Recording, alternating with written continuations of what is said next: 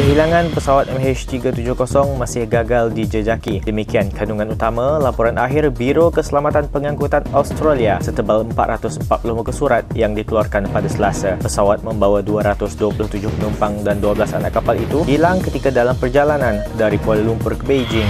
Tular mengenai kewujudan kotak hitam mengandungi bom di sebuah pusat bil belah terkemuka di Bukit Bintang Kuala Lumpur malam tadi terjawab apabila polis mengesahkan ia tidak mengandungi bahan letupan. Unit pemusnah bom telah memusnahkan kotak itu pada 1.50 pagi tadi.